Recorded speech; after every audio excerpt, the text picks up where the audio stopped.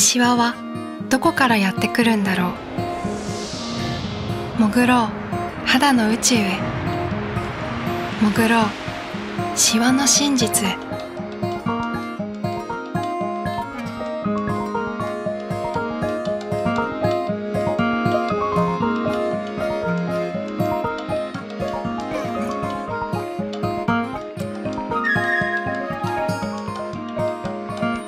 肌の中は日々外の世界からやってくるさまざまな刺激にさらされている。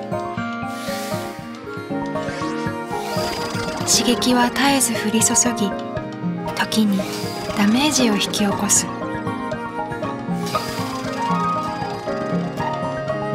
ただあなたの肌は無抵抗ではない。肌の中の平和を保つために白血球の一つ高中球が現れる。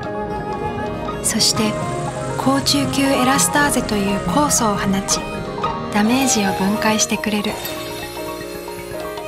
ところがその守りが行き過ぎる時がある。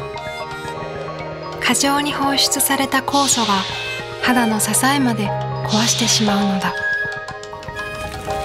守りたかったのに傷つけてしまう。コラーゲンが崩れ落ち沈み込む。それこそがシワができる原因の一つだった。この混乱を救ってくれる成分がある。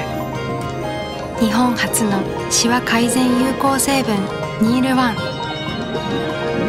肌の奥深くまでやってきて高中級エラスターゼの働きを沈めてくれる。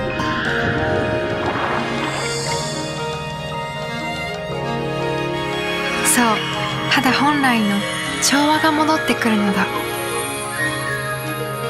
あなたの肌はもう一つの宇宙だ。そこでどんな奇跡が起きているのか。深く知って愛してほしいから。その上であなたに必要なケアを選んでほしいから。シワ改善のパイオニアポーラ。